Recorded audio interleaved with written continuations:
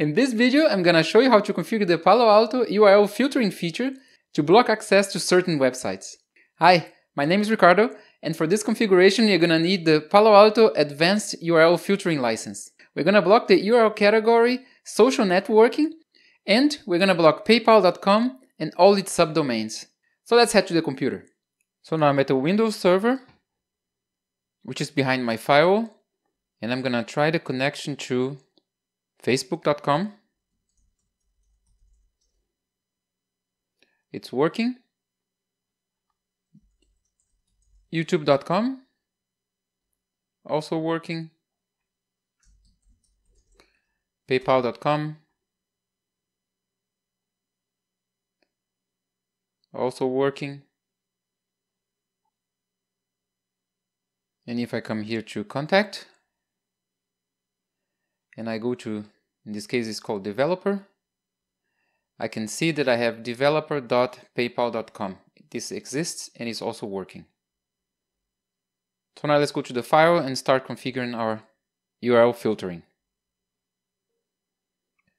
So now I'm at my panorama, and if you go to objects, my PA is selected. This is the PA that I have that I have the URL license installed. So I'm gonna make it make the configuration on it. Close, erase this filter. And if I go to custom objects, URL category, I click on add. I'm gonna enter one that's called URL whitelisting, whitelist. And then here I'm gonna add my YouTube com and then don't forget the slash in the end. Here there is a little tip for you to use the slash. To ensure an exact entry match, use a forward slash at the end of your entry.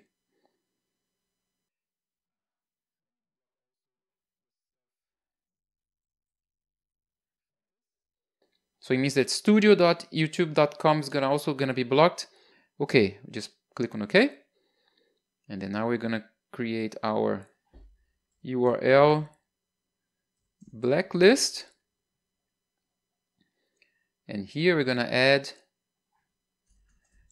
paypal.com slash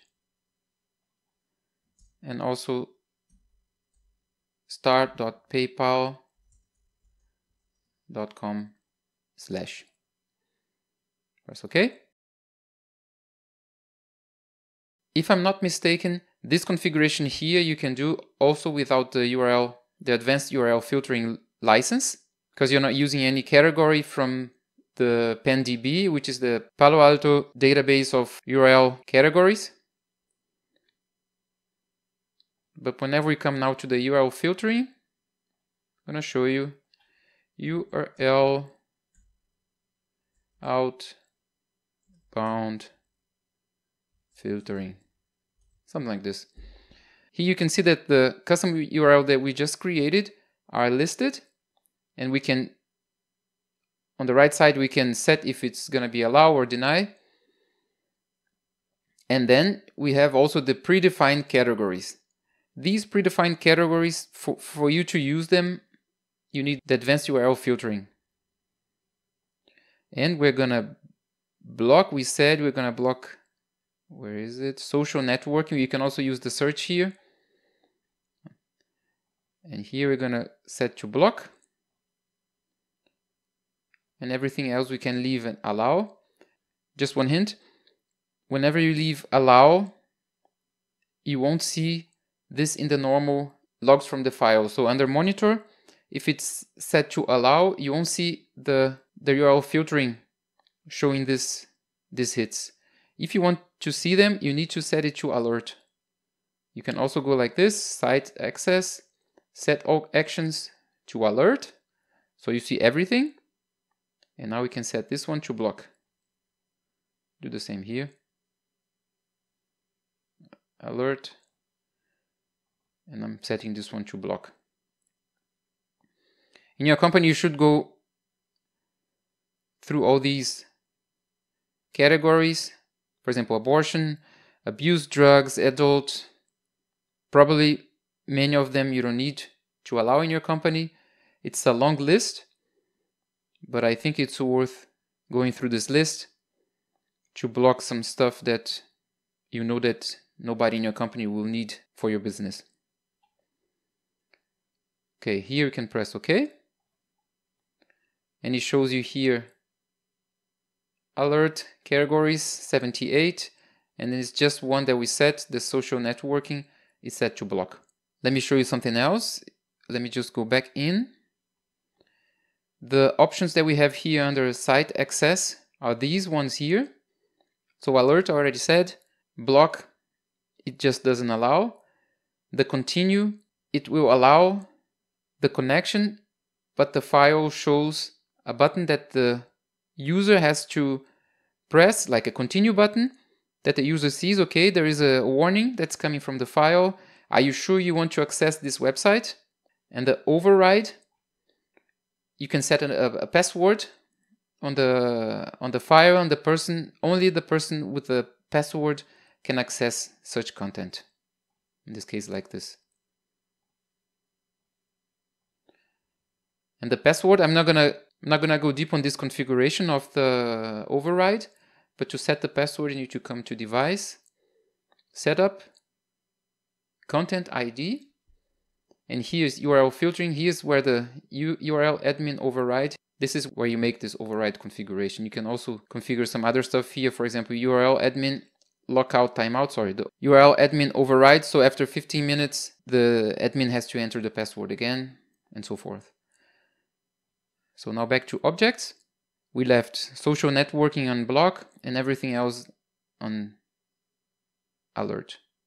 And as you can see here also, the custom URL categories, they come before the predefined. So whatever you set in the custom URL categories, they're going to take precedence on the predefined category. So in this case, I set YouTube on the whitelist and I set PayPal on the, on the blacklist, even though PayPal, what should PayPal be? I don't know what PayPal is but it's not social networking. So it would be allowed, but since we set it in the blacklist, it's not going to be allowed anymore. My URL blacklist, I need to set, of course, to block. So now we would be ready to configure this profile on uh, security policy, but I like to configure security profile groups. I'm going to show you how we do. I'm gonna call this one outbound profile. And under URL, I'm gonna select the URL outbound filtering, the one that we just created. So I just click on OK. And let's go to policies and we're gonna I'm not gonna create a new one because I already have one to allow internet access. This one allow lab internet. I'm gonna click on it and show you under action. I have profile type group and the group profile I have none and I can select the group that I just created outbound profile. Other way to do it without the group it will be to come to profile type and select profiles and here you have all the options. So we could have done like this. URL outbound filtering but personally, I prefer using the group. And then I set the group and whenever we need to change something, we have the group already selected on the security policies and we can just go on the group and change there and then all the security policies are going to be changed. Okay, so I press OK and I am ready to commit the configuration.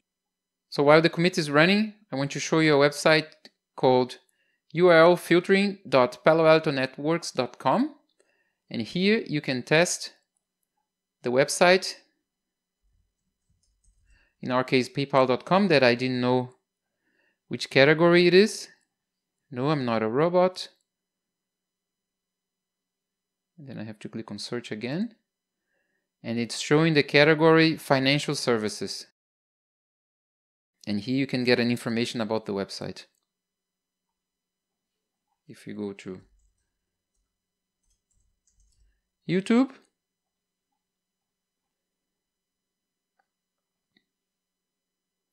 Okay, it shows that YouTube is streaming media. So we need to change this.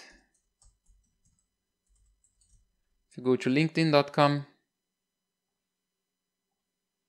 LinkedIn is social networking. So we're going to do everything that we did with YouTube to LinkedIn. So let me go back to objects. I'm going to change it quickly.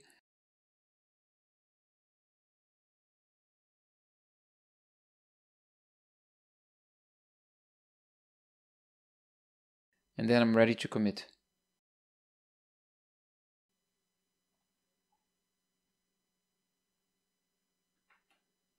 So now my commit is through and I'm back to my client. And if I come here and clear my web cache, privacy, clear browsing data in the last hour, should be enough. And I come here to PayPal and click on reload. Now I cannot access it anymore. If I come to developer.paypal.com, also doesn't work because we blocked paypal.com and also star.paypal.com. If I go to facebook.com, also doesn't work. If I go to linkedin.com, this one still works. Just want to show you something that I really didn't find the documentation, but I tested myself. If I go to xing.com, this is a German social networking website, similar to LinkedIn. It shows me a page like this that's coming from the file, web page blocked, different from facebook.com that shows me this rather ugly page. The difference that I noticed while turning on this developer tool from, from the browser was that the Facebook sends back a redirect to HTTPS, a 307 redirect, whereas the Xing sends me a 302 HTTP redirect back.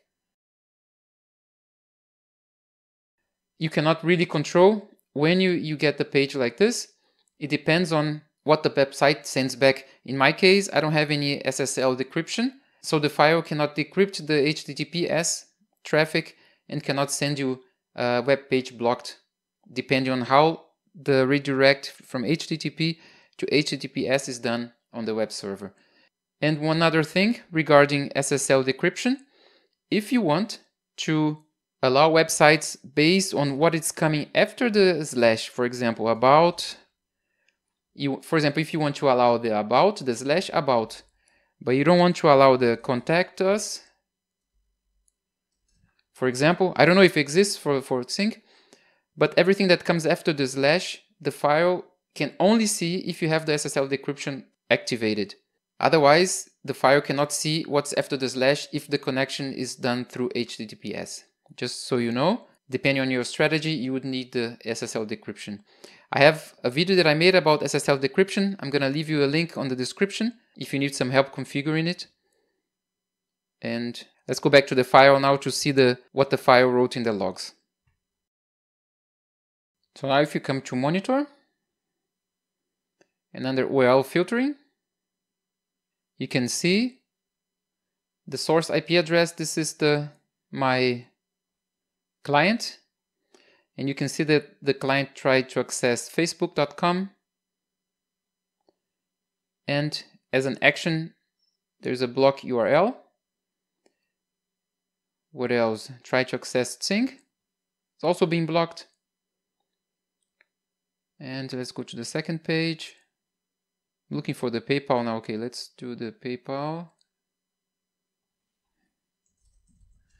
URL contains PayPal.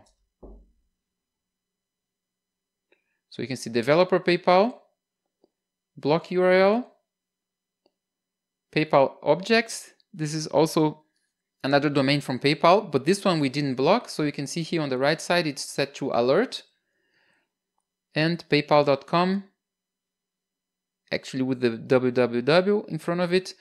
It's only working. This one is only being blocked because we blocked also star.paypal.com. Otherwise, this one will be allowed. So you need to be careful with that. And LinkedIn.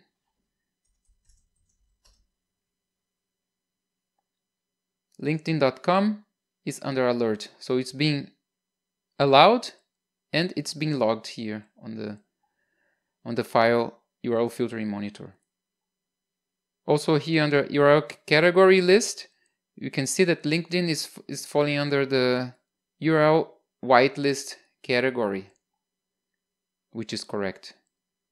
So guys, thank you very much for watching this video until the end. Don't forget to hit the subscribe button and maybe this video here can help you with more Palo Alto configuration and I hope to see you in the next one. Bye bye.